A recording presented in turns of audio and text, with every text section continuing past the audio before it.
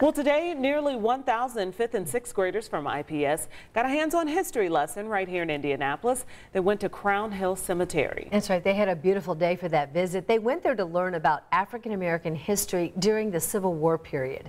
John Duran takes us inside the Spirit of Freedom event for the 25th annual year. If slavery is not wrong, turning back the clock, nothing is wrong. To educate and celebrate history. What we're doing is exposing our students, not just African American students, all students to the truth. A lot of that truth is still not in the textbooks, so it's our job to make sure that they know the truth. Station to station, speaker to speaker. I'm Harriet Tubman.